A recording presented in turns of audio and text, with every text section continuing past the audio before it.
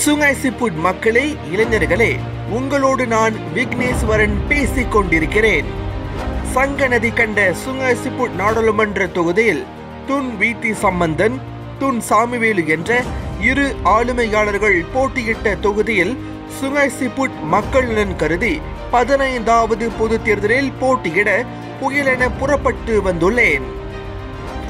உங்களுக்கு என்ன வேண்டும்? உங்களின் தேவை என்ன? இதனை நான் அறிவேன். இதனை நிறைவேற்ற நிலையான ஆட்சி தேவை. தேசிய முன்னணி ஆட்சிக்கு வந்தால் மட்டுமே அதனை செயல்படுத்த முடியும்.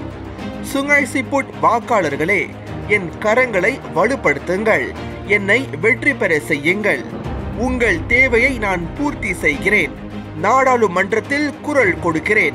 விக்னேஸ்வரன் என்ற திருநாமம் உங்களின் எதிர்காலத்திற்கு அடித்தளமாக ஆணி வேராக அமையும். என்னோடு நீங்கள் உங்களோடு நான். வாருங்கள் இணைவோம்.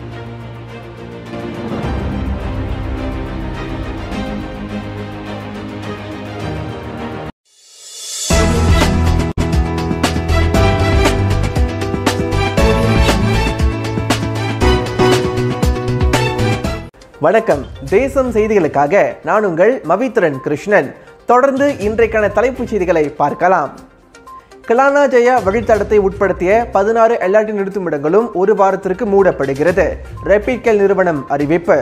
கிளானா ஜெயா வழித்தடத்தை உட்படுத்திய பதினாறு எல்ஆர்டி நிறுத்துமிடங்களும் இன்று முதல் ஒரு வாரத்திற்கு மூடப்படுவதாக ரெப்பிட்கல் நிறுவனம் அறிவித்துள்ளது.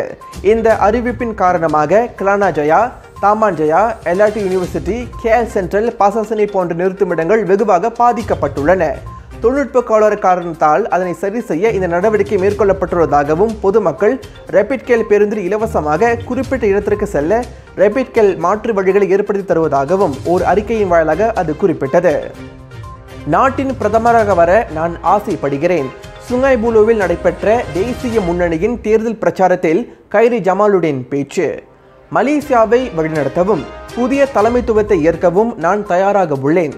ஆக பிரதமராக வருவதற்கு எனக்கு எண்ணம் உள்ளதாக சுங்கைபுலோ தேசிய முன்னணியின் நாடாளுமன்ற வேட்பாளர் கைரி ஜமாலுடன் குறிப்பிட்டார். ஒரு நாள் நாட்டின் பிரதமராக வருவதற்கு எனக்கு எண்ணம் உள்ளது. அதற்கு முதலில் சுங்கைபுலோ நாடாளுமன்றத்தில் வெற்றி பெற வேண்டும் என்று இங்கு நடைபெற்ற தேர்தல் பரப்புரையில் கலந்து கொண்டு பேசினார். சுங்கைபூலு வாழ் மக்கள் எனக்கு மகத்தான ஆதரவினை வழங்க வேண்டும். வெற்றி பெற்றால் தான் மக்களுக்கான சேவையை தொடர்ந்து மேற்கொள்ள முடியும் என்று இடைக்கால சுகாதார அமைச்சருமான கைரி ஜமாலுடன் குறிப்பிட்டார்.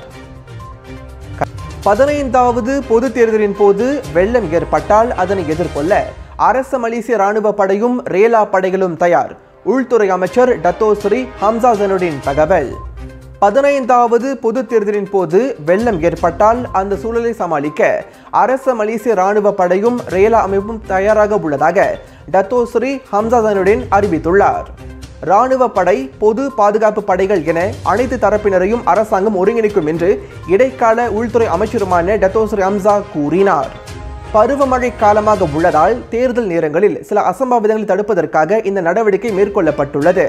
மேலும் கூடுதல் பாதுகாப்பு படை அதிகாரிகளும் பணியில் ஈடுபடுத்தப்படுவார்கள் என்று தேசிய கூட்டணி சார்பாக போட்டியிடும் டத்தோஸ்ரீ ஹம்சா சொன்னார். கிரகன் தானா ஆயர் அரசியல் கூட்டணியின் தேர்தல் வாக்குறுதிகளானது இன்னும் சில நாட்களில் அறிவிக்கப்படும். ஜிடிஏ அரசியல் கூட்டணி அறிவிப்பு.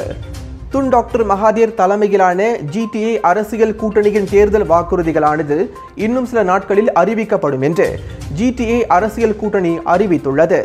இந்த தேர்தல் வாக்குறுதிகளை துன் டாக்டர் மகாதீர் அதிகாரப்பூர்வமாக வெளியிடுவார் என்று தெரிவிக்கப்பட்டுள்ளது.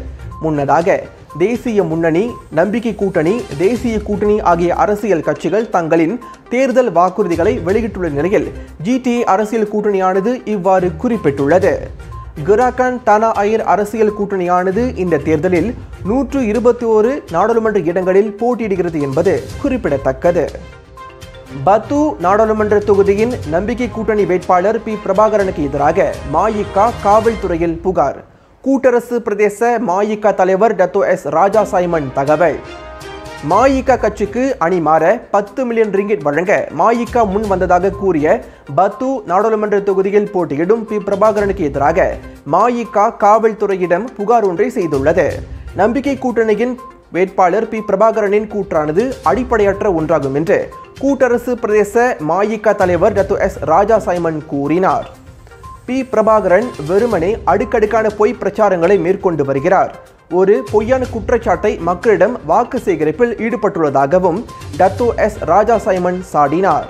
இந்நிலையில் ஒருவேளை பி. பிரபாகரன் மாயிக்காவிடம் மன்னிப்பு கேட்கும் பட்சத்தில் அவருக்கு எதிரான போலீஸ் புகார் மீட்டுக் கொள்ளப்படும் என்று ராஜா சைமன் தெரிவித்தார் டிஏபி கட்சியை சேர்ந்த ஹனா யூவின் சுவரொட்டிகளும் பதாகைகளும் சேதம். காவல்துறையினர் விசாரணையை தொடங்கியுள்ளனர்.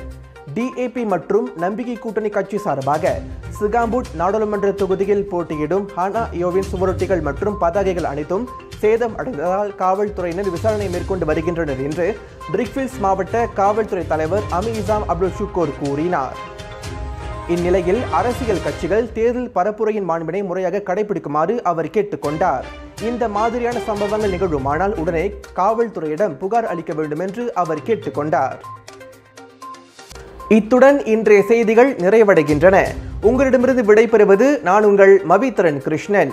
மேலும் பல அண்மைய செய்திகளை தெரிந்து கொள்ள தேசம் ஊடகத்தின் Thesam TV Malaysia YouTube channel Facebook Instagram TikTok Twitter மற்றும் டெலிகிராம் ஆகிய சமூக வலைத்தளங்களை பின்தொடருங்கள். நாளை மீண்டும் பல்வேறு சுவாரஸ்யமான செய்திகளுடன் சந்திக்கிறோம். மக்களோடு தேசம் தேசத்தோடு மக்கள். நன்றி வணக்கம்.